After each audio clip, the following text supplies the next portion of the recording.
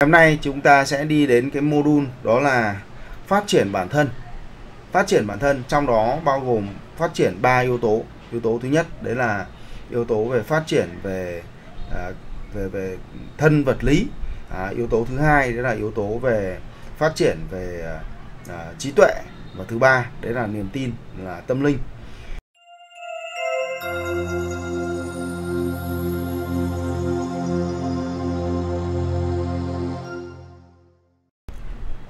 Để mà chúng ta có một cái bản, một cái sự phát triển bản thân tốt ấy, thì à, đầu tiên đầu tiên chúng ta phải có một cái sức khỏe hoàn hảo.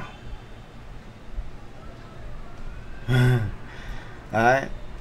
Đầu tiên là chúng ta phải có một sức khỏe hoàn hảo. Thế thì à, cái câu hỏi đầu tiên, cái module đầu tiên đấy là cái sức khỏe hoàn hảo là sao? Sức khỏe hoàn hảo là như nào?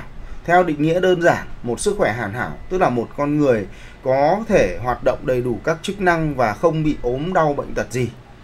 Đấy, tức là không bị giới hạn cái chức năng nào, những cái chức năng cơ bản của con người đấy, là không có bị giới hạn.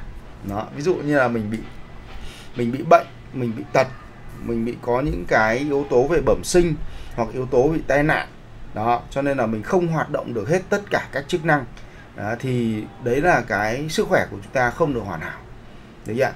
Hoặc là chúng ta có những cái bệnh tật về uh, trong cái quá trình hoạt động của mình.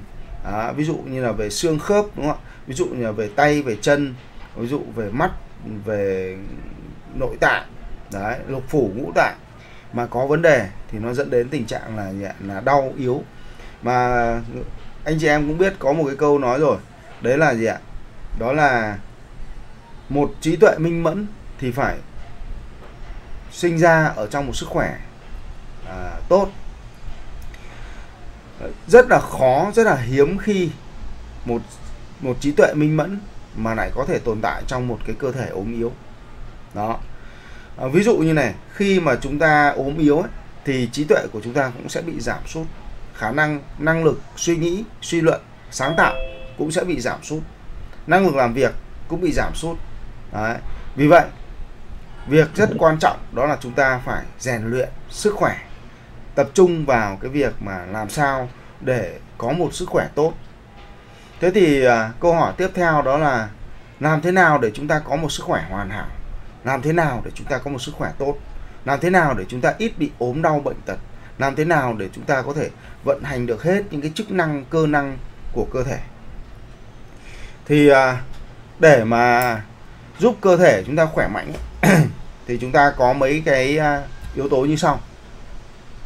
Để giúp sức khỏe chúng ta khỏe mạnh thì có mấy yếu tố như sau. Yếu tố thứ nhất đấy là hít thở. Hít thở vô cùng quan trọng anh chị em ạ. Bây giờ anh chị em tưởng tượng xem mình mất điện thì mình có thể sống được cả năm. Mất nước thì mình có thể sống được khoảng độ à, 3 ngày. Nhưng mà mất không khí thì chúng ta chỉ sống được khoảng 3 phút thôi. Tức là người bình thường ấy, tất nhiên có những người họ có thể nhịn giỏi hơn 3 phút.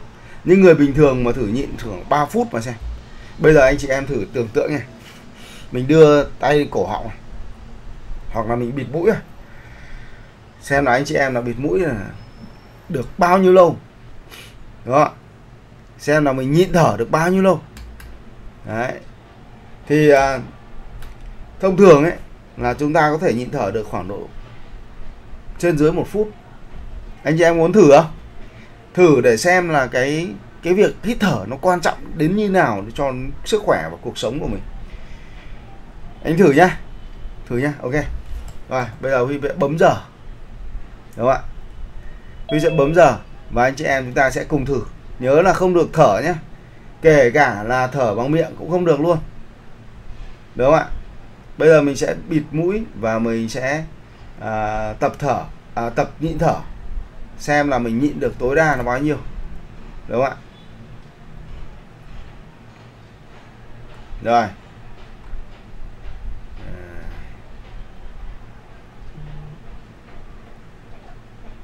Ok.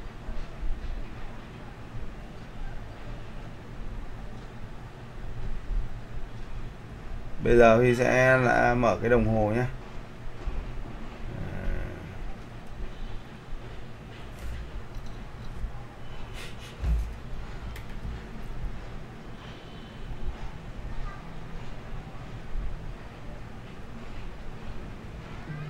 à.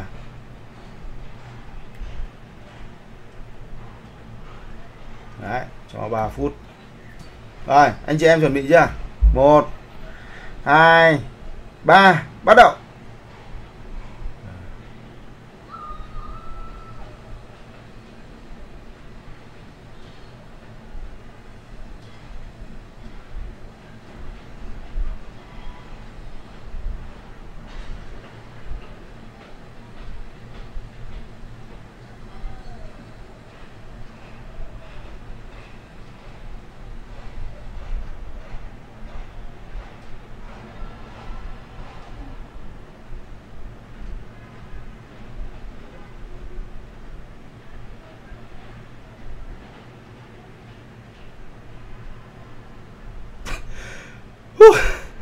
40 giây. Dài.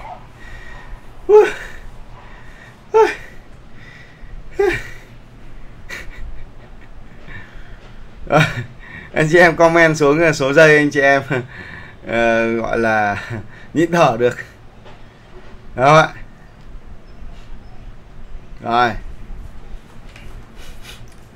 Ôi ai được có 10 giây 15 giây đấy kia? Ừ rồi rồi anh Xuân Thủy chắc là được dài nhất này. Ôi, 1 phút 15 giây. Rồi. Rồi, thế thì à, Anh chị em thấy rằng cái việc hít thở rất là quan trọng Và cái không khí nó sẽ là cái để nuôi tất cả những tế bào của chúng ta. Cho nên đây là một cái điều mà vô cùng quan trọng và chúng ta biết là có rất nhiều bộ môn mà tập trung vào hơi thở ví dụ như là yoga ví dụ như là thiền định ví dụ như là khí công. Ừ, thì à, à, các cái môn võ thì họ đều tập trung vào hơi thở rất là nhiều. Bây giờ cũng vậy khí tụ đan điền đúng không? Đấy. Thì cái việc mà rèn luyện hơi thở đấy là một trong những cái việc mà chúng ta phải rèn luyện. Rồi khi mà chúng ta muốn nói nhiều giống như những cái người diễn giả giống như huy chẳng hạn thì mình phải tập thở bằng bụng thở bằng hơi bụng chứ còn nếu mà thở bằng hơi ngực ấy, thì thứ nhất là rất mệt, thứ hai là sẽ bị đau cổ họng, thứ ba nữa là sẽ không được nói hơi dài. Hoặc là những người ca sĩ chẳng hạn, bắt buộc họ phải thở bằng hơi bụng, bởi vì nếu không, họ sẽ không đủ sức để họ ngân một cái bản rất là dài, sau đó họ tiếp tục lấy hơi để họ hát tiếp hát tiếp hát tiếp liên tục. Rồi có những người họ live show một cái buổi tối, họ có thể hát liên tục 30 bài, và bài nào thì ngân rất là cao. Đấy cho nên họ phải học cách để điều khiển cái hơi thở của mình.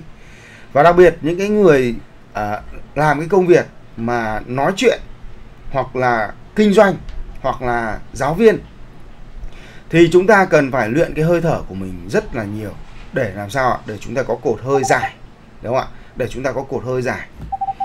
Và để làm việc đấy thì chúng ta sẽ phải làm cái việc rất là quan trọng đó là chúng ta phải có niềm tin rằng là chúng ta có thể rèn luyện được cơ thể của mình bây giờ nhảy nhá. Bây giờ chúng ta sẽ tập làm lại cái bài này. Nhưng bắt đầu bằng một cái suy nghĩ. Chúng ta hãy bắt đầu bằng cái suy nghĩ đó là chúng ta tin rằng tôi có thể làm tốt hơn. Bao nhiêu anh chị em tin rằng mình có thể làm tốt hơn ạ? Chúng ta có thể làm tốt hơn đúng không ạ? Rồi thế thì à, bây giờ chúng ta hãy hãy nhắm mắt vào và nhớ nhớ đến cái con số mà chúng ta vừa mới gì ạ?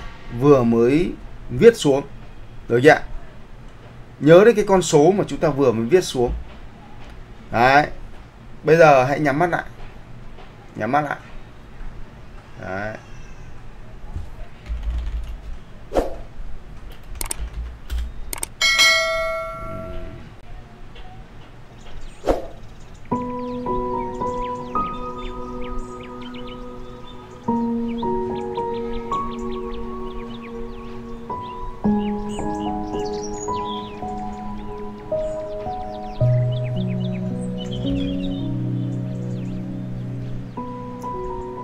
Mang lại và nhớ đến cái con số mà vừa rồi chúng ta vừa mới viết xuống, chúng ta vừa mới chinh phục được.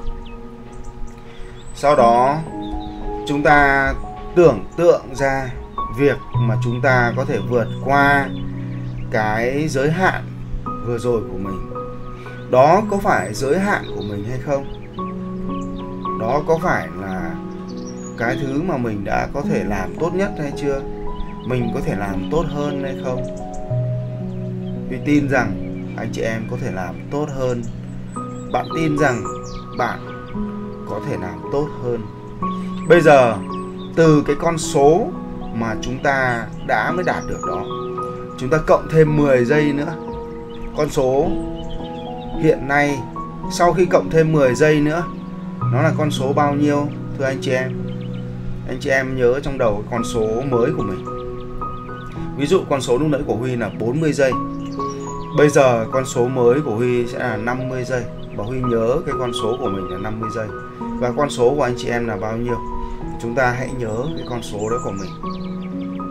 Rồi, bây giờ chúng ta hãy tưởng tượng rằng chúng ta đã vượt qua cái con số mà chúng ta vừa mới cộng thêm 10 giây đó.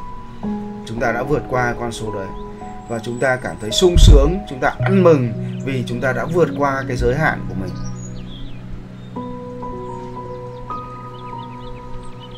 Đấy ạ. Vượt qua 10 giây, cộng thêm 10 giây nữa. Được không anh chị em? Rồi, bây giờ xin mời anh chị em chúng ta mở mắt ra. Và bây giờ chúng ta sẽ thực hành. Đúng không ạ?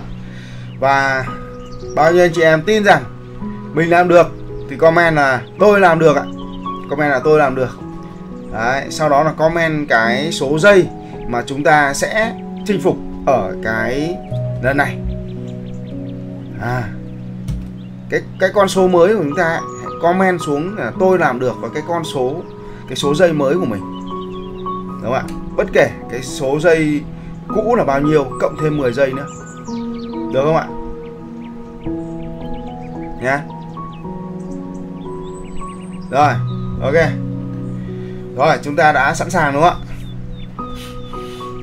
Rồi, một. Chúng ta chuẩn bị này, hít vào một hơi thật sâu này. Một, hai, ba, bắt đầu.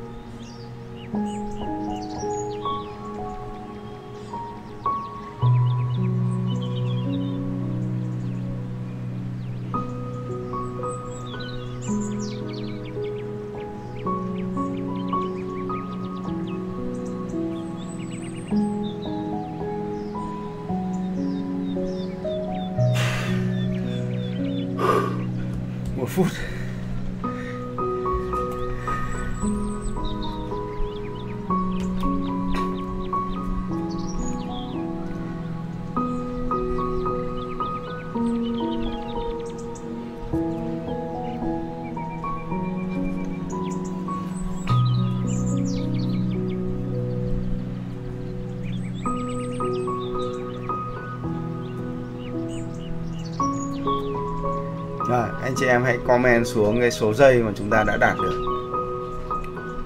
Huy đã vượt cái à, cái mốc cũ của mình là hơn 20 giây. Vượt qua cái mốc của mình hơn 20 giây. Từ 40 giây lên đến à, 60 giây. Không biết anh Xuân Thủy giờ lên bao nhiêu, gần 2 phút. Anh Xuân Thủy comment xuống à,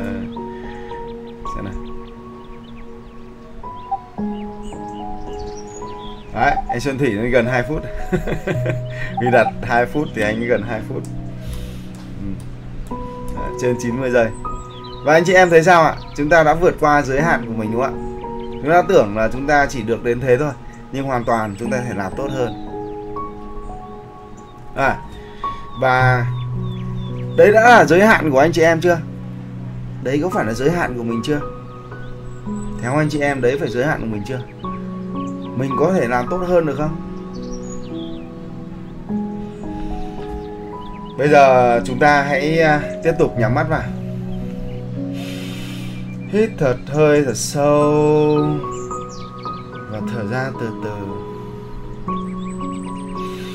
Hít vào một hơi thật sâu.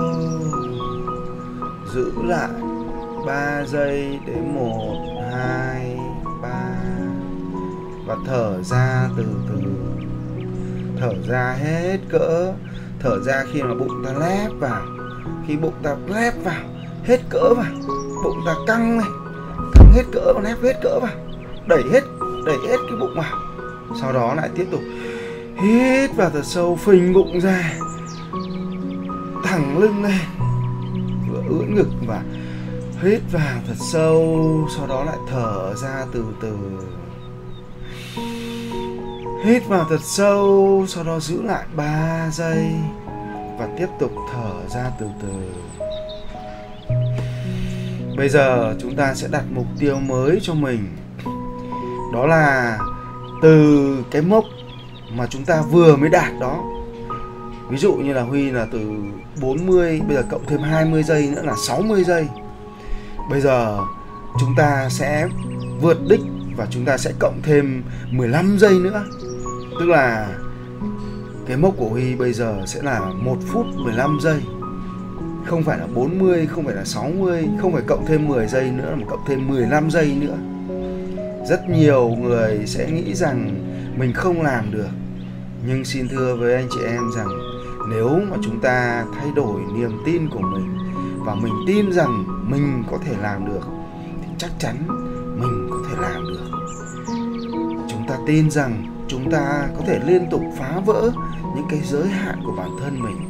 Chúng ta liên tục vượt qua cái vùng an toàn của mình có thể nó sẽ khiến cho cơ thể chúng ta khó chịu một chút, đau đớn một chút nhưng chính cái sự khó chịu, cái đau đớn đó giúp chúng ta trưởng thành hơn, giúp chúng ta mạnh mẽ hơn và giúp chúng ta có thêm niềm tin rằng tất cả những cái giới hạn nào mà chúng ta đặt ra chỉ đơn giản giới hạn trong bản thân của mình mà thôi, chỉ là giới hạn trong tâm trí của mình mà thôi.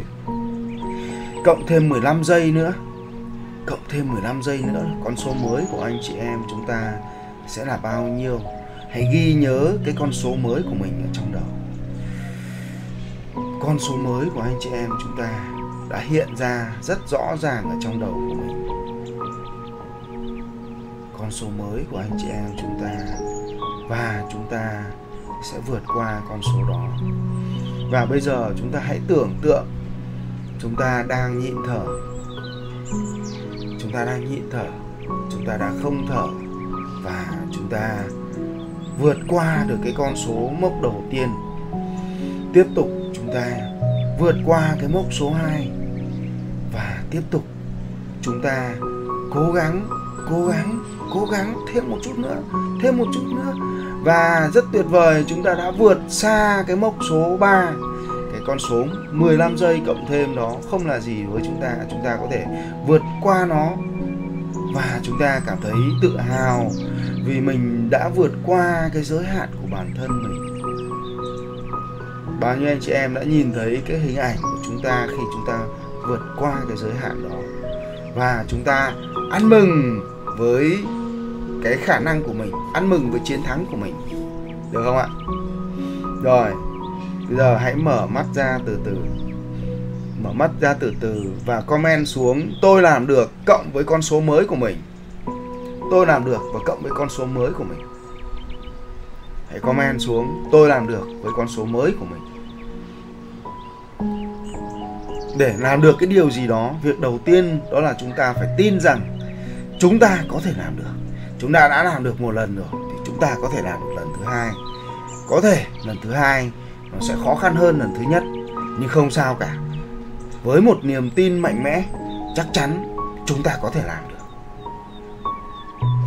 Làm được.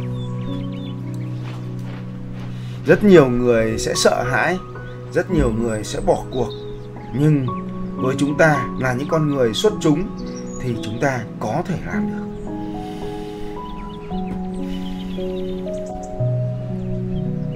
Ok không ạ? Rồi. Và khi huy đếm sẵn sàng là lúc anh chị em chúng ta hãy hít vào một hơi thật sâu, thật là sâu. Và khi Huy nói bắt đầu, thì khi đó chúng ta hãy bắt đầu nhịn thở, được không ạ? Và bắt đầu chúng ta có thể nhắm mắt lại hoặc là nhìn vào cái đồng hồ ở trên màn hình, được không ạ? Rồi một hai ba. Sẵn sàng.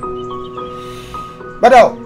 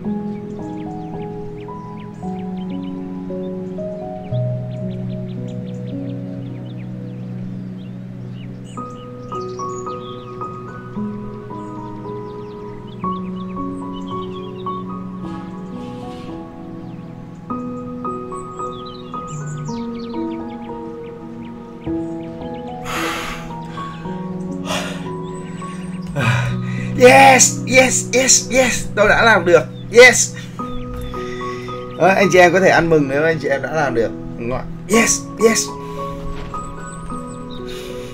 Uhm, rất tuyệt vời.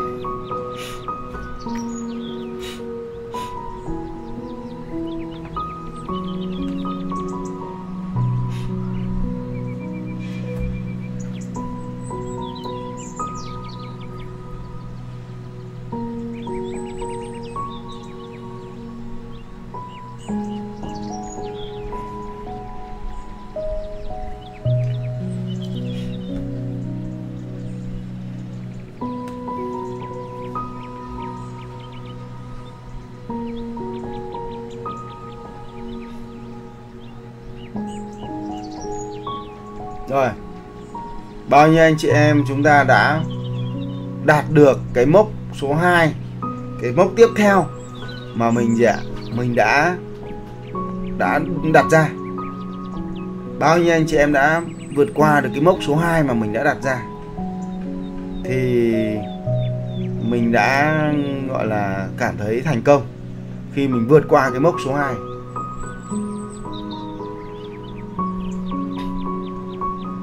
chị em thấy sao ạ? Chỉ cần thay đổi niềm tin là chúng ta hoàn toàn có thể thay đổi được rất nhiều thứ.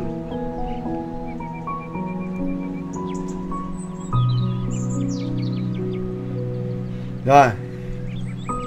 Bây giờ bao nhiêu anh chị em tin rằng mình có thể chinh phục được mốc tiếp theo? Một mốc xa hơn nữa. Khó hơn. Xa hơn. Bao nhiêu anh chị em tin rằng mình có thể cộng thêm được 10 giây nữa? Rồi, Bây giờ xin mời tất cả mọi người nhắm mắt vào. Bây giờ Chúng ta sẽ cộng thêm 10 giây nữa, Kể từ cái mốc cao nhất mà chúng ta đã đạt được. Không biết là mốc cao nhất của chúng ta là bao nhiêu. Chúng ta phải tin rằng chúng ta có thể đạt được mốc cao hơn chúng ta sẽ phá bỏ những cái giới hạn mà chúng ta đã từng tưởng tượng ra. Chúng ta phá bỏ giới hạn mà chúng ta từng suy nghĩ. Trước giờ chúng ta chưa bao giờ làm việc này. Chưa bao giờ nghĩ rằng chúng ta có thể làm việc này. Nhưng bây giờ tôi bắt đầu tin tưởng vào bản thân mình. Tôi tin tưởng rằng cơ thể mình có thể làm tốt hơn những gì mà mình đã từng đặt cho nó tôi tin tưởng rằng bản thân mình có thể vượt qua những giới hạn mà tôi đã từng đặt ra cho nó. Cơ thể này của tôi có thể làm được những điều kỳ diệu, chỉ khi khi và chỉ khi tôi tin tưởng vào nó. Nó là một phần của tôi. Nó đang giúp đỡ tôi rất nhiều trong cuộc sống này. Tôi biết ơn cơ thể của mình và tôi tin tưởng cơ thể của mình sẽ đi đồng hành với mình trong suốt cuộc đời này. Và để trở nên xuất chúng, để trở nên mạnh mẽ, thì tôi phải yêu mến cơ thể của mình. Tôi phải tin tưởng cơ thể của mình. Và tôi tin rằng với một niềm tin mạnh mẽ, tôi sẽ chinh phục được những khó khăn, tôi sẽ chinh phục được những rào cản, tôi sẽ chinh phục được những vấn đề, tôi chinh phục được những giới hạn mà trước đây tôi đã không dám đặt ra cho mình. Tôi chinh phục những giới hạn của bản thân khi mà tôi chưa từng nghĩ đến nó. Và tiếp tục, hãy nghĩ tới con số mới từ cái con số cuối cùng mà anh chị em chúng ta đạt được, cộng thêm 10 giây nữa. 10 giây này sẽ khó khăn hơn tất cả cái số giây mà chúng ta đã đạt được từ trước đến nay.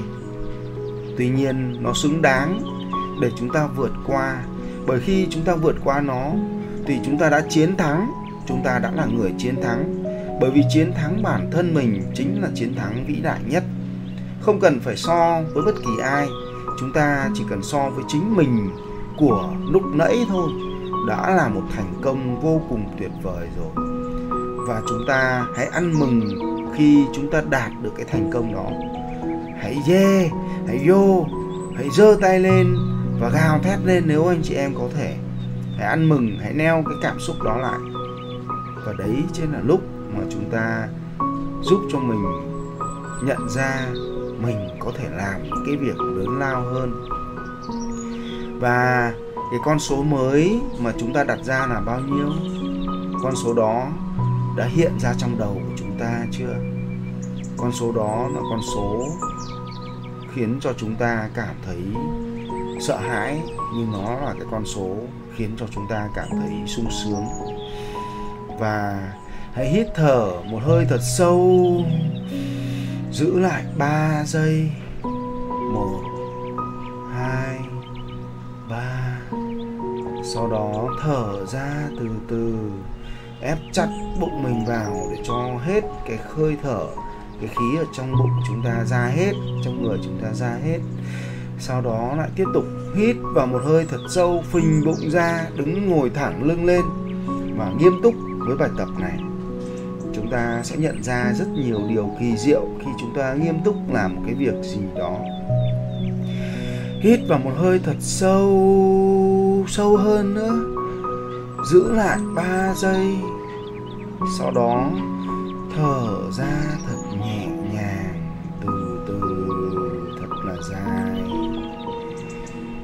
sau đó, chúng ta tưởng tượng ra cảnh chúng ta đã chinh phục, vượt qua cái con số mới của chúng ta, vượt qua cái con số mà giới hạn mà chúng ta nghĩ rằng chúng ta đã từng không thể. Và các con số đó đã hiện ra trong đầu của chúng ta chưa? Chúng ta đã tưởng tượng ra con số đó chưa? Con số đó là con số bao nhiêu? Và bây giờ, chúng ta hãy mở mắt ra từ từ và comment xuống, tôi làm được. Và viết cái con số mới của chúng ta xuống cái phần chat. Để viết cái con số mới của mình xuống phần chat. Tiếp tục hít hơi thật sâu. Vừa nhắn tin và vừa hít thật sâu, thật là sâu. Và vẫn thở ra thật nhẹ nhàng comment xuống, tôi làm được với con số mới của mình, cộng thêm 10 giây nữa từ con số cuối cùng mà mình đã đạt được. Hãy comment xuống cái con số mới của mình. Và sau khi mà chúng ta đạt được rồi thì chúng ta ăn mừng và ăn mừng đồng đội cùng cùng với mình. Đó là gì ạ? Chúng ta comment xuống, tôi đã làm được. Được chưa nếu mà chúng ta đã làm được thì chúng ta hãy comment xuống là tôi đã làm được. Sau khi chúng ta hoàn thành cái bài tập này. Ok, và khi mà huy hô sẵn sàng thì anh chị em chúng ta hãy hít vào một hơi thật là sâu. Sau đó, đóng tất cả hơi thở, không thở ra, được không ạ? Lấy tay bịt mũi, mắt nhắm và giữ nguyên cái tư thế của mình. Cho tới khi mình không thể nào, không thể nào cố thêm một tí nào nữa. Chúng ta không cần nhìn đồng hồ nữa. Huy sẽ không hiển thị đồng hồ trên màn hình nữa. Và việc của chúng ta đó là à Huy vẫn phải hiển thị trên màn hình để anh chị em có thể à, có thể biết được cái à, số giây của mình là bao nhiêu. Nhưng khi Huy hô sẵn sàng anh chị em hãy gì ạ? Hãy bịt tay vào mũi nhắm mắt lại và ngồi tư thế ngồi im không không chuyển động và không cần phải xem đồng hồ cho tới khi nào mà mình không thể nhịn được nữa. Hãy dùng hết khả năng của mình. Được không ạ? Bao nhiêu anh chị em chúng ta đã sẵn sàng? Hãy comment. Sẵn sàng. Rồi.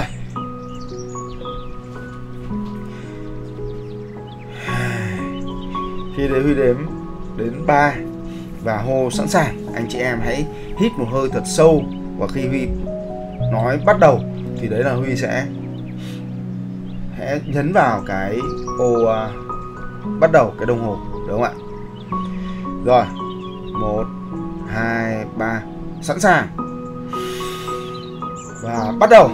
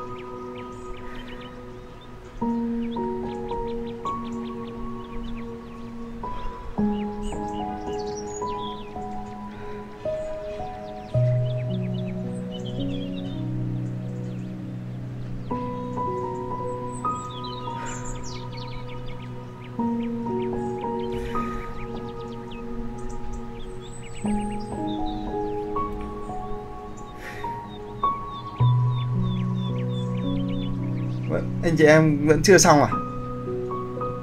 Là anh chị em comment xuống cái số giây mà cái lần đầu tiên và cái số giây ở đợt này.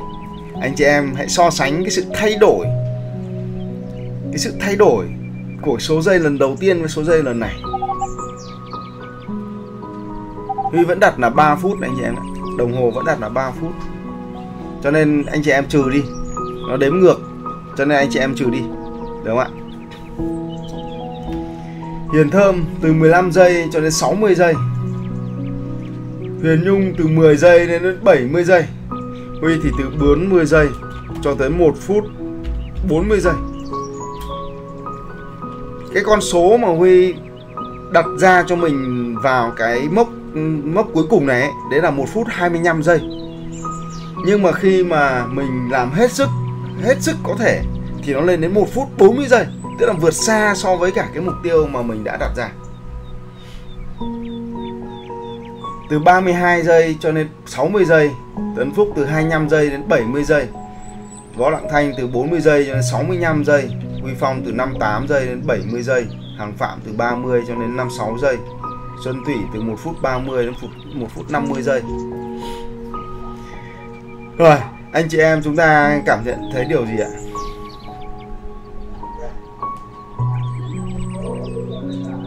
Trần Hương từ 15 giây đến 80 giây Chị Thúy là từ bao nhiêu đến bao nhiêu ạ?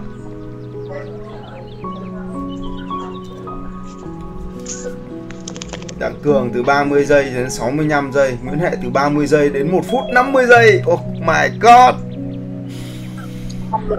Yeah! Anh chị em hãy ăn mừng đi ạ. Yes yes yes yes yes. Vì mà gì ạ, Mình đã làm được, đúng không ạ?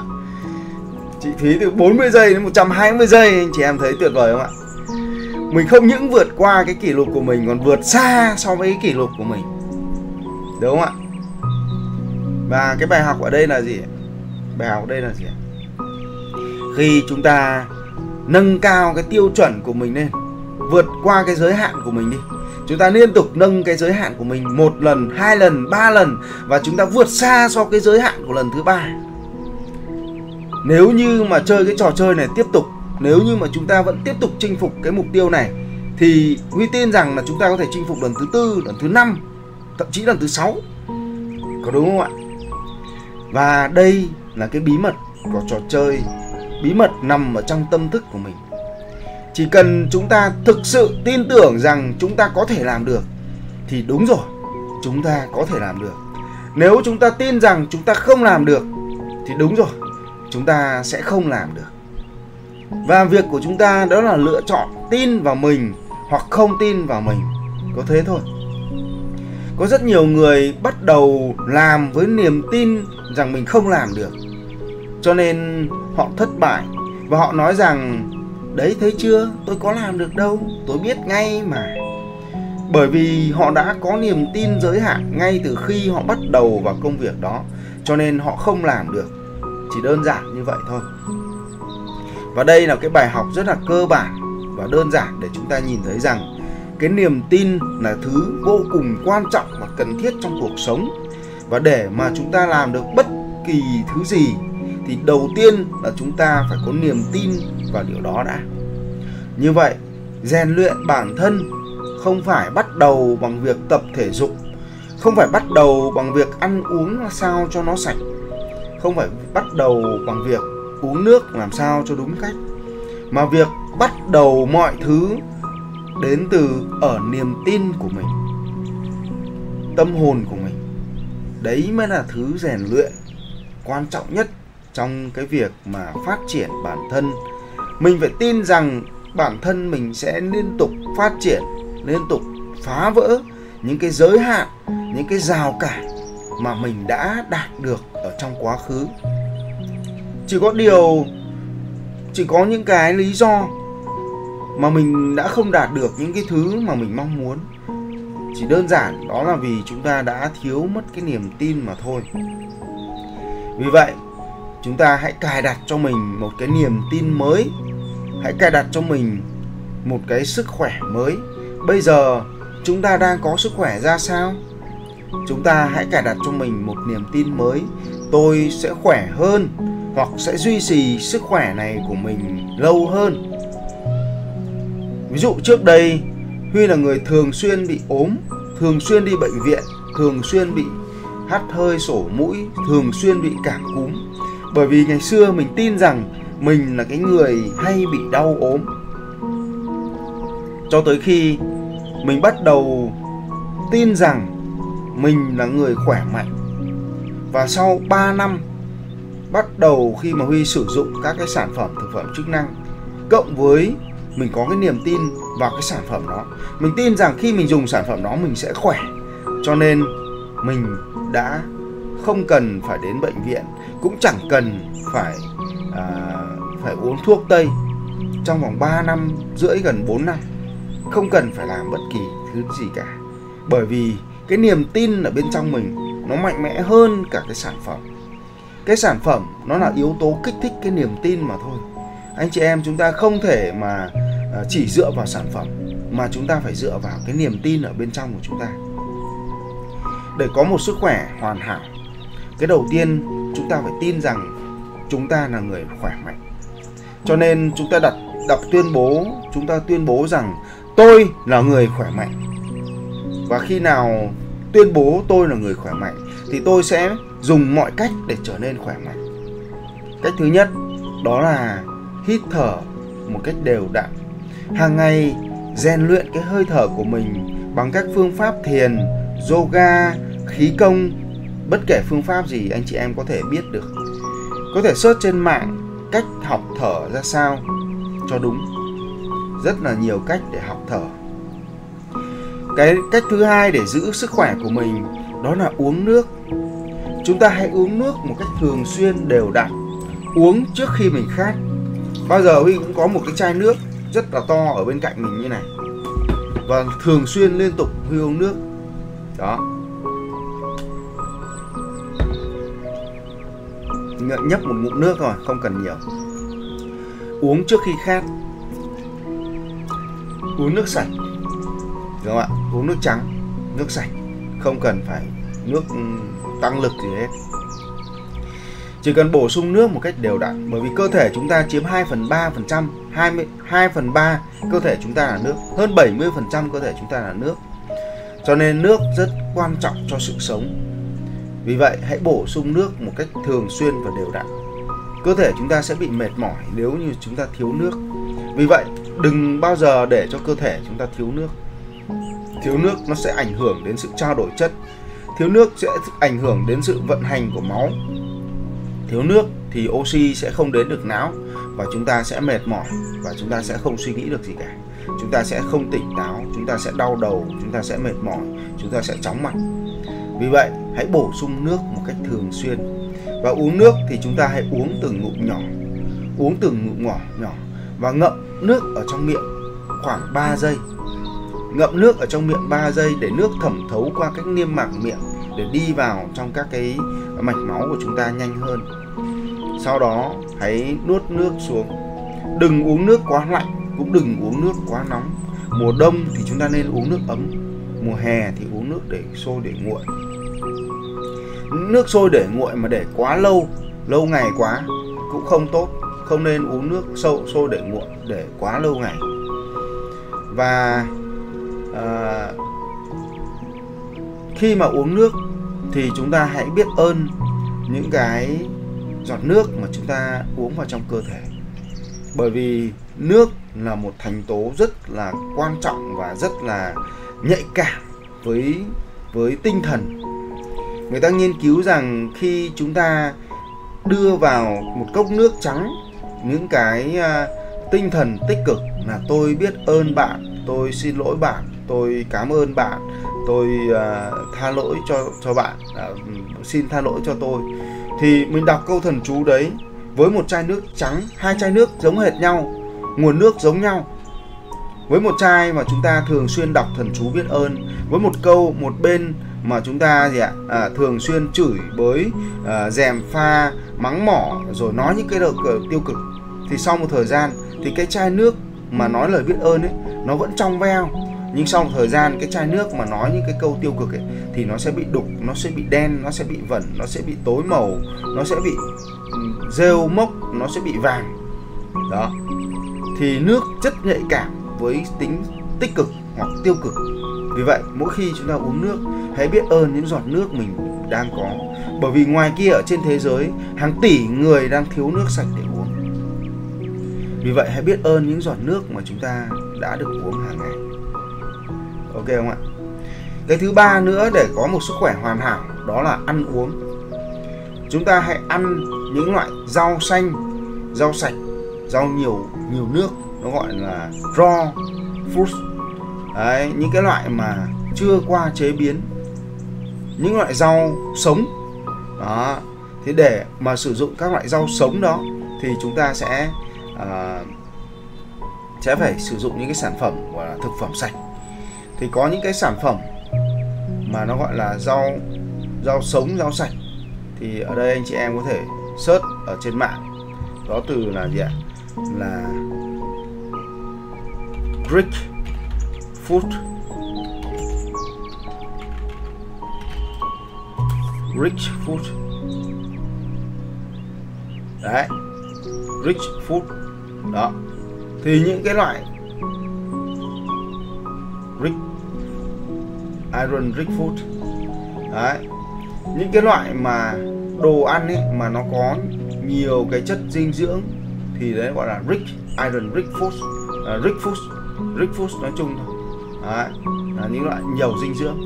Ngoài ra thì mình dùng cái loại là raw raw food. Đấy. Là những cái loại gì ạ? Là những cái loại thực phẩm tươi sống. Đấy, đấy những cái loại thực phẩm tươi sống này. Đấy. và những cái loại thực phẩm mà nó có có màu sặc sỡ. Ví dụ như là những cái loại cà chua màu đỏ này à, à ớt chuông này đấy rồi táo này rồi súp lơ này những cái loại mà màu xanh màu đỏ màu vàng màu tím thì đều những cái loại mà chứa rất nhiều các cái à, polyphenol đấy, rất là tốt cho cơ thể. Đó và cách tốt nhất đó là ăn là gì ạ? À, ăn sống. Ăn sống nhé không qua chế biến không qua luộc xào nấu gì hết. Ăn sống là cách tốt nhất. Đấy, và những cái loại thực phẩm này ấy, nó sẽ rất là giàu những cái uh, kiềm. Nó giúp kiềm hóa cơ thể. Đấy, bởi vì cơ thể chúng ta ấy, thì nó sẽ gì ạ? Nó sẽ uh, bị uh, axit hóa. Bởi rất nhiều các chất độc hàng ngày chúng ta phải hít thở. Những cái không khí nó độc hại. Rồi là chúng ta ăn những cái sản phẩm dầu mỡ chiên rồi những cái loại thực phẩm bẩn. Những cái loại mà à, dư lượng chất bảo quản thuốc trừ sâu thuốc diệt cỏ rồi à, à, thuốc bảo quản đấy à, thuốc tạo màu tạo mùi. Thì à, những cái thành phần đấy nó sẽ tạo ra cái gốc tự do và cái axit hóa cái, cái môi trường à, dung môi trong cơ thể chúng ta. Và cái môi trường axit thì nó lại là cái môi trường mà khiến cho cái tế bào ung thư nó phát triển một cách nhanh nhất. Đó. Cho nên cái gọi là thực phẩm tốt nhất cho cơ thể thì đó là gì ạ? Là cái thực phẩm tươi sống các loại rau tươi sống đúng không ạ? Thì đấy là à, những cái loại rau mà chúng ta nên ăn hàng ngày. À, nên ăn những cái loại rau tươi sống như vậy rất là tốt cho cơ thể. Những cái loại rau mà chứa nhiều nước đó thì đấy là cái loại mà rau cũng như là củ quả rất là tốt. Những cái loại hoa quả mà quá ngọt thì cũng không phải là tốt. Tinh bột là cái thứ mà khiến cho chúng ta béo phì. Tinh bột mới là thứ khiến chúng ta béo phì bởi vì tinh bột nó sẽ tạo ra đường gluco và cái đường gluco đấy chính là cái cái tích tụ tích tụ mỡ bởi vì mỡ nó là cái năng lượng mà năng lượng đến từ tinh bột là nhiều nhất chứ không phải là chất béo. Chất béo thì nó có hai loại chất béo tốt và chất béo không tốt. Thì cái chất béo không tốt nó đến từ các loại mỡ động vật là chúng ta không nên. Nhưng cái chất béo tốt nó đến từ các loại hoa quả ví dụ đến từ quả bơ đấy là, là những cái chất béo tốt. Đấy hoặc là đến từ các loại hạt ví dụ như là hạt đậu nành à, ví dụ như là hạt à, hạt hướng dương ví dụ như là hạt óc chó ví dụ như là à, hạt mắc ca. À, rồi rất nhiều các loại hạt. Thì đấy là những cái loại hạt mà mang lại những cái chất béo tốt. Đó. Thì nếu mà chúng ta sử dụng các loại dầu thì chúng ta nên sử dụng các loại dầu thực vật đúng không ạ? Rồi à, đấy là về vấn đề ăn uống. À, thêm nữa thì à, à đôi khi trong cuộc sống rất là xô bồ và chúng ta không thể nào mà chúng ta có thể chuẩn bị được một bữa ăn đầy đủ chất dinh dưỡng à, về à, chất đạm chất à, tinh bột chất đạm chất đường chất tinh bột và các cái loại vitamin các loại rau xanh các loại chất xơ. Thì khi đó thì chúng ta sẽ bị thiếu các loại vitamin và khoáng chất. Vì vậy là chúng ta nên có những cái sản phẩm để bổ sung cái vitamin và khoáng chất. À, bởi vì là nếu như mà chúng ta ăn đầy đủ tất cả các loại thực phẩm để mà chúng ta đầy đủ dưỡng chất trong một ngày ấy, thì cái khối lượng đồ ăn của chúng ta nó phải rất lớn đồng thời nó phải rất đa dạng. Chúng ta phải ăn cái thực phẩm họ họ thủy sản họ hải sản.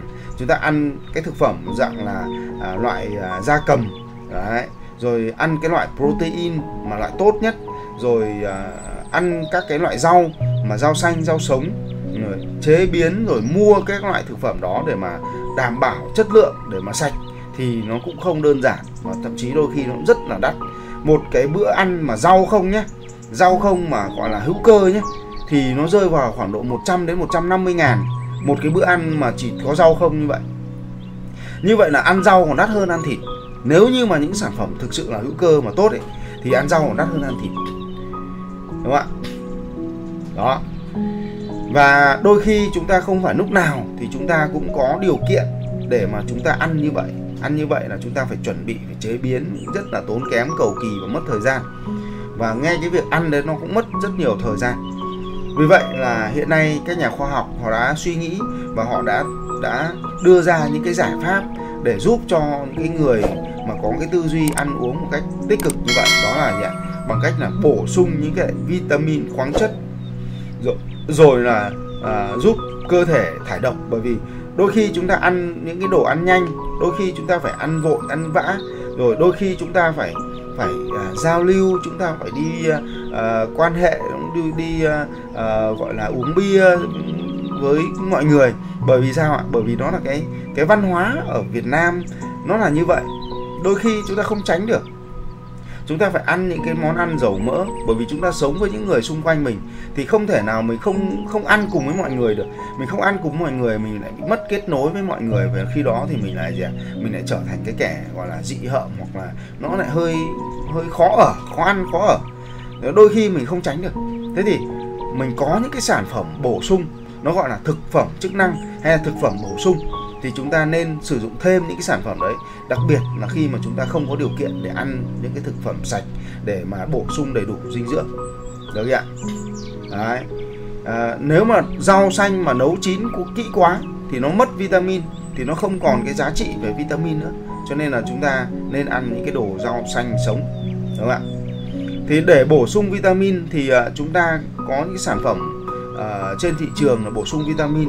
Tuy nhiên thì cái sản phẩm AMPM của Ginet ấy, thì nó bổ sung đến 70 loại vitamin khác nhau. Nếu mà chúng ta ra các hiệu thuốc ấy thì chúng ta có thể mua được những cái loại vitamin tổng hợp nó có khoảng độ 30 40 loại vitamin khác nhau là đã rất là nhiều rồi. Nhưng mà cái loại mà có thể tổng hợp đến 70 loại vitamin khác nhau thì là rất khó, rất hiếm luôn. 70 loại à, gọi là vitamin và khoáng chất khác nhau thì là rất hiếm, không phải à, cái cái loại nào cũng có. Vì vậy AMPM là một sản phẩm rất là tuyệt vời. Cái thứ hai nữa là chúng ta ăn lỡ đưa vào trong cơ thể mình những cái sản phẩm kém chất lượng những cái sản phẩm dầu mỡ rồi là những cái sản phẩm mà không tốt thì chúng ta nên có những cái cái sản phẩm để bảo vệ cơ thể. Ví dụ như là fibrotic ví dụ như là à, reserve. Fibrotic để giúp thải độc đường ruột. Đường ruột chúng ta thường xuyên phải gánh chịu những cái hậu quả khi mà chúng ta ăn uống một cách vô tội vạ hoặc là sử dụng những cái sản phẩm như là bia rượu hoặc là à, những cái à, thực phẩm dầu mỡ à, rồi không tốt mang nhiều cái cái cái tính độc hại rồi những thức ăn nhanh thì chúng ta sử dụng Fibrotic để giúp cho đường ruột của chúng ta được sạch và được à, tái tạo những cái à, những cái à, gọi là cái nhung mao để mà để hấp thụ thức ăn Ngoài ra, khi mà thức ăn đi vào máu rồi, thì chúng ta sử dụng reserve để làm sạch đường máu. Vì vậy, những cái sản phẩm đó là vô cùng quan trọng và cần thiết trong cuộc sống và không chỉ chúng ta đâu, mà những người ngoài kia họ cũng cần. Và việc của chúng ta đó là gì ạ? Hãy đào tạo, hướng dẫn, giúp đỡ họ để họ có một cái gì ạ? Có một cái thói quen sử dụng cái sản phẩm tốt và chúng ta cũng đang à, gì ạ? Đi giúp đỡ mọi người để họ có thể thải độc cơ thể, để họ bỏ ra khỏi cơ thể những cái chất độc những cái gốc tự do để giúp cho cơ thể họ khỏe mạnh hơn. Đó. Đấy là ý nghĩa của cái việc mà chúng ta sử dụng reserve rồi sử dụng gì ạ? À, sử dụng phai tích hoặc là sử dụng AMPM hàng ngày. Đúng không ạ? Rất là quan trọng. Cái thứ tư tiếp theo để chúng ta có một sức khỏe hoàn hảo đó là việc rèn luyện tập thể dục hàng ngày hàng ngày chúng ta nên có một cái thời gian nào đó cố định đấy, để chúng ta tập luyện thể dục thể thao để tập luyện cho cơ bắp của mình có sự dẻo dai hơn để có một cái sự dạ, chống đỡ tốt hơn để có một cái cơ thể săn chắc gọn gàng hơn để mà chúng ta có một cái à, à, sự chuẩn bị cho những cái à, thử thách mới ở trong cuộc sống khi mà chúng ta có một cái cơ thể khỏe mạnh thì chúng ta sẵn sàng đón nhận những cái thử thách mới mà chúng ta không sợ hãi. Ví dụ, bây giờ chúng ta có một cái chương trình là thử thách leo phan xipang đi. Ví dụ như vậy nếu như mà sức khỏe mình không tốt, mình sẽ không dám đăng ký. Đấy, nếu mà mình không có tiền thì mình cũng không dám đăng ký. Nếu mình không có thời gian, mình không dám đăng ký. Cho nên chúng ta phải cần phải chuẩn bị trước để chúng ta sẵn sàng đón nhận những cái thử thách như vậy. Nếu mà chúng ta có một dự án kinh doanh đi ai đó giao cho mình một cái công việc rất là quan trọng để mà mình có thể nhận một cái công việc đó mình có thể kiếm được rất là nhiều tiền. Nhưng nếu như mình không đủ sức khỏe nếu như mình không đủ thời gian nếu không đủ trí tuệ thì mình cũng không nhận được cái cơ hội đó. Đúng không ạ? Vì vậy để mà đón nhận những cái cơ hội ấy, thì đầu tiên là mình phải phát triển bản thân trước. Và phát triển bản thân nó bắt đầu từ cái việc phát triển về cái cái thân thể của mình và tâm hồn của mình cũng như là trí tuệ của mình. Đúng không ạ? Đấy và ờ, năm uh, cái yếu tố đó là năm cái yếu tố quan trọng nhất trong cái việc mà uh, giữ gìn sức khỏe của mình. Và một cái yếu tố nữa mà chúng ta cần lưu tâm yếu tố thứ sáu yếu tố mà uh, cũng rất quan trọng nhưng nó là một cái yếu tố mà có thể là nhiều người à, không để ý. Đó là yếu tố về cái sự điều độ ở trong các cái sinh hoạt của mình. Về giấc ngủ đấy, về công việc về à, thời gian làm việc cũng như là các áp lực trong cuộc sống những cái stress.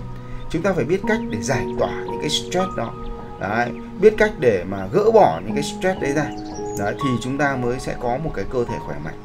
Chúng ta suy nghĩ tích cực cộng với cả cái sinh hoạt đều đặn.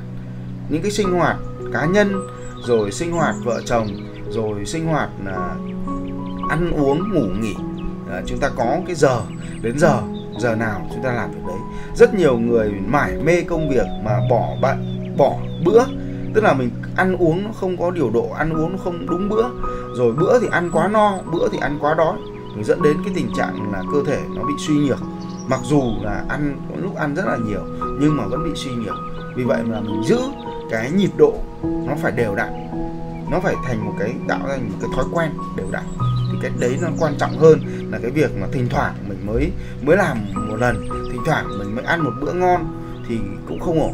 Đấy mà mình phải làm một cách đều đặn. Đúng không ạ? Đấy. Thì đấy là cái duy trì cái thói quen à, sinh hoạt một cách đều đặn. À, ăn ngủ nghỉ. Ngủ đúng giờ ăn đúng giờ làm việc đúng giờ giờ làm thì làm việc đó. Ok không ạ? Đó. Ok rồi đấy là cái cách để chúng ta có một cái sức khỏe hoàn hảo. Ok không ạ? Rồi tiếp theo thì chúng ta nói đến cái việc mà chúng ta sẽ rèn luyện về cái trí tuệ cũng như là cái tâm hồn của mình như nào. Thì uh, vừa rồi chúng ta đã nói về cái việc mà chúng ta đã rèn luyện cái niềm tin của mình. Cái tâm linh ở trong cái uh, bánh xe cuộc đời ấy, nó đơn giản nó là niềm tin. Và khi mà chúng ta tin mạnh mẽ về cái điều gì đó thì lúc đó chúng ta có tâm linh chúng ta phát triển. Chúng ta tin mạnh mẽ vào bản thân của mình thì đấy là gì ạ? Là chỉ là, là cái tâm linh của chúng ta phát triển. Chúng ta tin mạnh mẽ vào các quy luật của cuộc sống thì chúng ta sẽ gì ạ? Chúng ta sẽ phát triển. Chúng ta sẽ phát triển về cái mặt tâm linh. Còn để phát triển về mặt gì ạ? Về mặt trí tuệ thì chúng ta có cách nào? Chúng ta ở đây, chúng ta đang ngồi học ở đây. Là chúng ta đều là những người mong muốn cái trí tuệ chúng ta phát triển. Đúng không ạ? Mở rộng kiến thức. Thế thì có những cái cách như sau để phát triển cái trí tuệ của mình. Người ta nói rằng đọc vạn cuốn sách không bằng đi vạn dặm đường. Đi vạn dặm đường thì không bằng gặp vạn người. Gặp vạn người thì không bằng minh sư chỉ lối. Minh sư chỉ lối thì không bằng tự giác ngộ bản thân ở đây người ta sắp xếp theo các thứ tự. Không có nghĩa là mình không cần phải đọc sách, không có nghĩa là mình không cần phải gặp minh sư. Mà ở đây có nghĩa là chúng ta cần phải đi từng cái cấp bậc như vậy và chúng ta cần phải làm tất cả những cái điều đó. Như vậy là chúng ta nhìn thấy rằng là gì ạ? Đầu tiên là chúng ta hãy bắt đầu từ những cuốn sách. Những cuốn sách rất là rẻ. Những cuốn sách chỉ từ 80 ngàn cho đến khoảng 200 ngàn đổ lại là chúng ta đã mua được những cái gì ạ? Những cái trí tuệ, cổ, kim. Từ cổ trí kim. Tức là từ xưa đến nay. Những cuốn sách có thể là những cái đúc rút cả cuộc đời của một con người. Thay vì chúng ta phải trải nghiệm cả một cuộc đời, thì chúng ta đọc một cuốn sách là chúng ta đã có thể, gì ạ, học hỏi rất nhiều kiến thức rồi. Vì vậy, đừng bao giờ tiếc tiền mua sách. Đừng tiếc thời gian đọc sách. Đừng tiếc công sức để đọc sách. Những cuốn sách là thứ giá vô cùng giá trị. Những cuốn sách chính là những người thầy vĩ đại. Hãy bắt đầu từ những việc đọc những cuốn sách. Sau đó, chúng ta chỉ đừng có đọc sách, mà chúng ta hãy bắt đầu đi lại nhiều hơn, đi nhiều nơi hơn, du lịch nhiều hơn, đi nhiều nước hơn, đúng không ạ? Là doanh nhân, là những người phát triển trí tuệ, đó là mình sẽ đi nhiều hơn. Tại sao còn mọi người thích đi du lịch? Bởi vì mỗi khi đi du lịch, họ lại nhìn ngắm được thế giới, họ lại biết được những thứ mới. Và đấy là lúc mà họ đang phát triển. Họ đang cảm thấy họ đang phát triển phát triển bản thân. Cho nên mọi người thích đi du lịch. Có mấy ai đi du lịch mà năm nào cũng đi một nơi không? Năm nào cũng đi một nơi. 10 năm 20 năm 50 năm chỉ đi đúng một nơi không? Thì đấy không phải gọi là đi du lịch nữa. Đúng không ạ? Đi du lịch là chúng ta đi những cái nơi mới, trải nghiệm những thứ mới để chúng ta mở mang đầu óc đến một vùng đất mới đến một cái đất nước mới thì chúng ta hiểu hơn về con người hiểu hơn về ẩm thực hiểu hơn về lịch sử hiểu hơn về ngôn ngữ hiểu hơn về uh, về những cái danh lam thắng cảnh ở cái đất nước đó. Và từ đó chúng ta nhận ra những cái bài học. Đi một ngày đàng học một sàng khôn. Đi càng nhiều thì càng học giỏi hơn càng phát triển hơn. Vì vậy đừng ngại khi mà di chuyển đừng ngại khi mà dạ rơi ra khỏi nhà hãy ra khỏi nhà nhiều hơn hãy đi lại nhiều hơn thì chúng ta sẽ hiểu biết nhiều hơn à, phát triển hơn. À, thêm nữa à, chúng ta chỉ đừng có đi lại không mà chúng ta hãy gì ạ? Hãy gặp gỡ nhiều người. Mỗi một người sẽ cho ta những cái câu chuyện của cuộc đời họ sẽ cho ta những cái bài học mà thay vì chúng ta phải trải nghiệm rất nhiều thời gian tiền bạc công sức chúng ta mới có thì chúng ta có thể học được những cái bài học từ những cái người khác vì vậy chúng ta hãy đi nhiều hơn và gặp được nhiều người hơn thì mỗi một cái người ấy, thì có thể giúp chúng ta tiết kiệm được 3 đến 5 năm cuộc đời 3 đến 5 năm cuộc đời khi chỉ cần nói chuyện với một người thôi là chúng ta đã có thể tiết kiệm 3 5 năm cuộc đời rồi Đấy. Vì vậy là hãy gặp gỡ nhiều người hơn Hãy lựa chọn cái công việc mà mình có thể gặp gỡ được nhiều người Đấy. Và những người mới liên tục đến với mình đó. Chứ đừng loanh quanh loanh quanh làm việc những cái người cũ những người đồng nghiệp cũ. Đấy, thì mình sẽ không có sự phát triển. Và cái cuối cùng à cái thứ thứ tư đó là gì ạ? Chúng ta cần một cái người minh sư để chỉ lối cho mình. Tại sao lại như vậy ạ? Bởi vì những người chúng ta gặp họ có thể cho chúng ta những kinh nghiệm thất bại những kinh nghiệm thành công. Nhưng người minh sư là cái người hiểu chúng ta. Họ biết chúng ta mong muốn điều gì họ cho chúng ta cái con đường, họ chỉ chúng ta cái tầm nhìn. Và chúng ta có thể nhìn được cái tầm nhìn của họ bằng cách là chúng ta đi cùng với họ, đi cùng với người minh sư của mình, follow theo họ, hỗ trợ họ, đồng hành với họ thì chúng ta sẽ được họ chỉ dạy rất là nhiều. Và ở đây tặng cho anh chị em một cái từ khóa, đó là proximity is power. Tức là gì ạ? Sự gần gũi là sức mạnh chúng ta muốn học được nhiều từ minh sư của mình, chúng ta muốn học nhiều từ một cái người nào đó, thì chúng ta phải gần gũi cái người đó. Ví dụ như ngày xưa, khi huy nhìn thấy thầy phạm thành long là một người rất giỏi, và huy trước giờ ấy là huy không có không có nể ai bao giờ, không có phục ai bao giờ, lúc nào cũng nói là tao là người giỏi. Bởi vì mình giỏi thật. Cái gì mình cũng biết, cái gì mình cũng làm được, mình chẳng sợ cái gì cả. Cái gì mình đâm đầu mình làm mình thi đại học bách khoa thì gần thủ khoa. Mà đỗ ba trường liên tiếp mà hồi đó là thi ba trường với ba đề khác nhau. Cái hồi năm 2000 huy thi ấy, nó là đề đề riêng. Mỗi trường nó ra đề riêng chứ không phải đề chung. Năm 2001 là bắt đầu là gì ạ? Là thi đề chung rồi. Nhưng từ năm 2000 huy thi là đề riêng. Và thi ba trường đỗ cả ba và tất cả các trường đều điểm rất là cao. Đấy. À, à, và à, rất nhiều những cái bằng chứng cho thấy là mình là cái người học rất giỏi cũng như là cái người làm rất là giỏi. Thế thì ờ, mình không có nể ai không phục ai bao giờ. Xung quanh mình những cái người họ đều là rất là bình thường.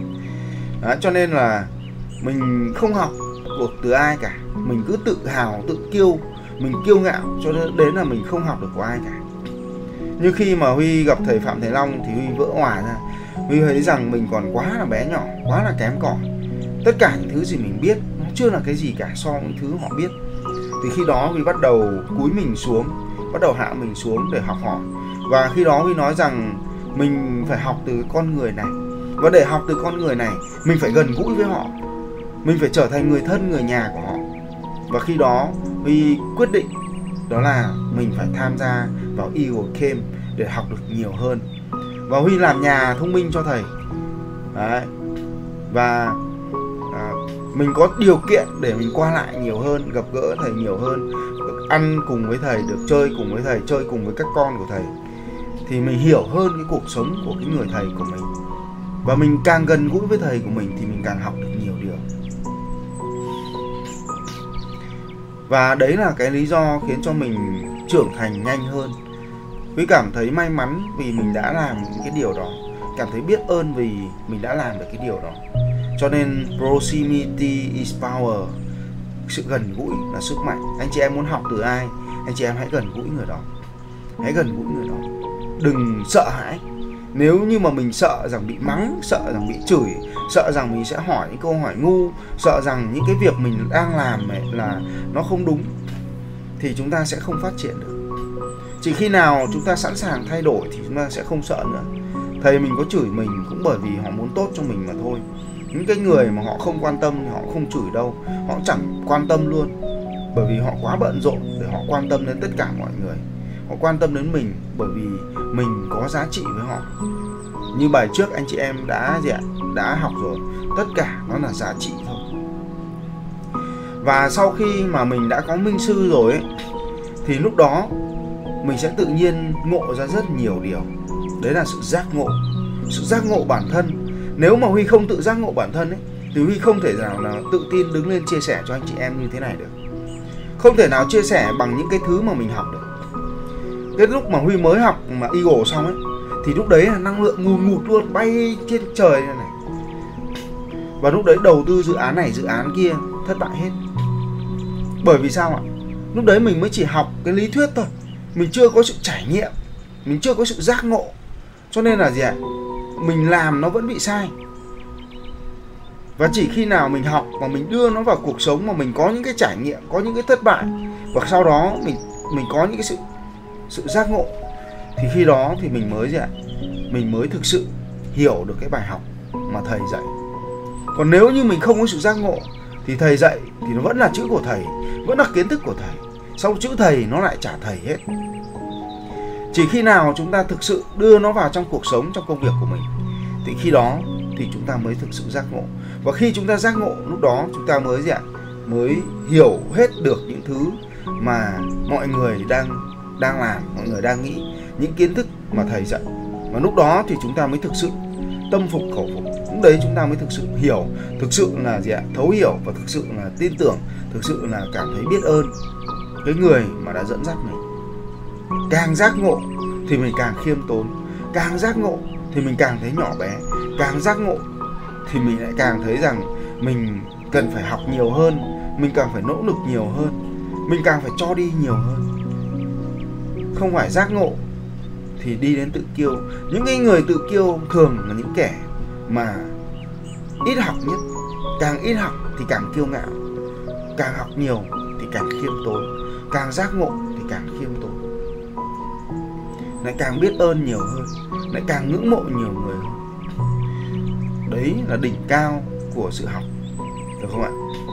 Cho nên hãy đơn giản học từ sách, học từ những cái bài học cuộc sống, học từ người khác, học từ những người minh sư của mình và học từ chính bản thân của mình. Đây là cái quá trình học tập mà huy đã trải qua. Và ngày hôm nay huy chia sẻ lại điều này cho tất cả anh chị em và hy vọng rằng anh chị em cũng sẽ một ngày nào đó giác ngộ ra cái điều này và chúng ta sẽ bắt đầu trong cái hành trình đi chia sẻ để giúp đỡ những người khác cũng có được những thứ giống như mình có ngày hôm nay. Ok không ạ? Và ok, hôm nay thì huy sẽ đi hai cái module chính, ba cái module. Những cái module về niềm tin thì à, huy sẽ à, chỉ đi sơ bộ như vậy thôi. Nhưng mà chúng ta đã có một cái bài tập về niềm tin rất là quan trọng và bài tập đấy nó chiếm phần lớn cái khung thời gian của chúng ta. Và coi như là chúng ta đã đi qua ba cái cái niềm tin à ba cái module. Module thứ nhất là về niềm tin. À, và niềm tin nó có phần lý thuyết nữa nhưng mà chúng ta chưa đi qua phần lý thuyết chúng ta đi luôn vào phần thực hành. Đúng không ạ? Bởi vì thực hành thì nó quan trọng hơn cho nên là đi thẳng vào thực hành. Còn hai cái module về module về sức khỏe là nào thì chúng ta đi qua cái phần lý thuyết à, và cái phần à, phát triển bản thân hay là phát triển về mặt kiến thức thì chúng ta đã đi qua phần lý thuyết đó là chúng ta biết được cái cách làm thế nào để chúng ta phát triển bản thân làm thế nào để chúng ta phát triển cái trí tuệ của mình. Còn thực hành thì bắt buộc là chúng ta phải làm hàng ngày đó là chúng ta đọc những cái tuyên bố.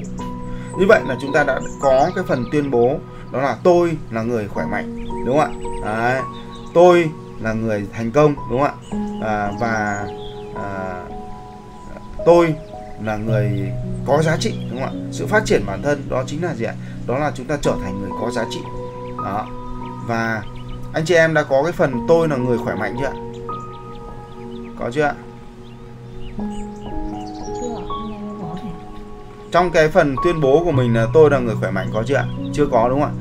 Thế thì ngày hôm nay chúng ta thêm vào trong cái tầng tuyên bố của mình đó là tôi là người khỏe mạnh đúng không ạ ừ, tôi là người biết ơn tôi là người chính trực tôi là người chịu trách nhiệm về cuộc đời tôi tôi là tôi là người yêu thương bản thân và yêu thương người khác tôi là người khỏe mạnh tôi là người giàu có tôi là người bán hàng xuất sắc tôi là người hạnh phúc tôi là người có giá trị tôi trao giá trị cho mọi người đúng không ạ thêm một cái điều nữa đó là tôi là người khỏe mạnh ok ạ chúng ta sẽ tuyên bố cái điều này hàng ngày để mình sẽ đưa nó vào trong tiềm thức của mình và khi mà chúng ta xây dựng và chúng ta rèn luyện cho cái tiềm thức của mình rồi ấy, thì tự nhiên những cái thứ khác nó đến một cách rất là nhẹ nhàng. Không cần phải cố gắng. Chúng ta chỉ cần cố gắng duy nhất một thứ, đó là gì ạ? Đào tạo cho tiềm thức của mình thôi. Chỉ cần cố gắng một thứ duy nhất, đó là đào tạo tiềm thức của mình. Sau đó, để tiềm thức nó làm phần còn lại. Và khi đó chúng ta nhìn lại, chúng ta xem lại là cái từ cái ngày đầu tiên đến ngày mà chúng ta phát triển giống như vừa rồi ấy, chúng ta hít thở ấy, thì từ cái cái giai đoạn đầu tiên cho đến giai đoạn mà sau này ấy, là gì ạ? Là tiềm thức nó đã giúp chúng ta vượt qua cái giới hạn của mình. Ok không anh chị em? Rồi. Thì đấy là một số cái chia sẻ của y trong ngày hôm nay với hai module ba module về uh, xây dựng cái niềm tin ở bên trong. Đồng thời là uh, uh, chúng ta giúp chúng ta có một sức khỏe hoàn hảo và có một cái trí tuệ uh, minh mẫn. Uh, và tất cả những cái điều này nó đều góp phần giúp chúng ta có một cuộc đời à, à, ngoại hạng có một cuộc đời đỉnh cao. Và với cái tinh thần của khóa học đó là thay đổi bản thân và làm chủ cuộc đời. Thế làm chủ cuộc đời là làm chủ cái gì? Làm chủ cuộc đời chính là làm chủ 8 cái yếu tố mà tạo lên cái sự hạnh phúc trong cuộc đời. Cho nên làm chủ cái sức khỏe của bản thân làm chủ cái trí tuệ và cái tâm hồn của mình chính là cái việc mà dạ, để giúp chúng ta làm chủ cuộc đời. Ok không ạ? À, và chúc à, anh chị em chúng ta sẽ nhanh chóng làm chủ cuộc đời bằng cách làm chủ 8 yếu tố này. Ok không